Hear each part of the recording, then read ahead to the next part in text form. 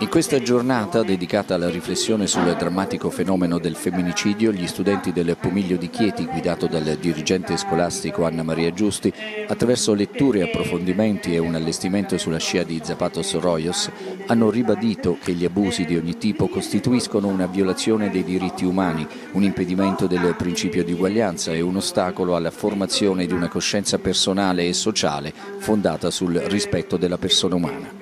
Mi sono profondamente convinto in questi anni in cui prima di diventare prefetto ho svolto le mie attività nella Polizia di Stato. Eh, io penso che per quello che riguarda la violenza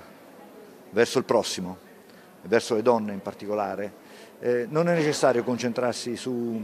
provvedimenti sanzionatori, su pene, sull'aumento delle pene, sull'inasprimento delle pene. Bisogna concentrarsi su un discorso culturale che lo so che è un po' difficile dirlo perché a volte è più facile dirlo, come qualcuno dice, che farlo e metterlo in pratica, ma il discorso culturale parte dalla base, la scuola ovviamente è uno dei veicoli principali attraverso il quale diffondere quello che è un sentimento profondo che nell'animo di ognuno di noi deve esserci, quello di rispettare il prossimo e questo prossimo, rispettare le donne, diventa dire, una priorità assoluta. La scuola è il luogo principe dell'educazione, diciamo, dove praticamente si fa un discorso di inclusione, di rispetto, di educazione, di regole. Allora, però le regole che devono diventare valori,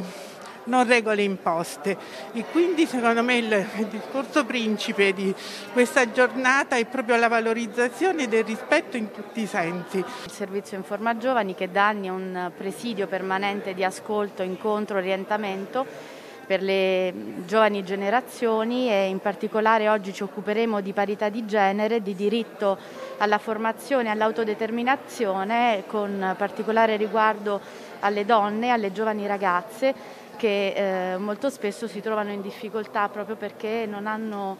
eh, la possibilità di scegliere autonomamente oppure liberamente propria, eh, il proprio progetto di vita.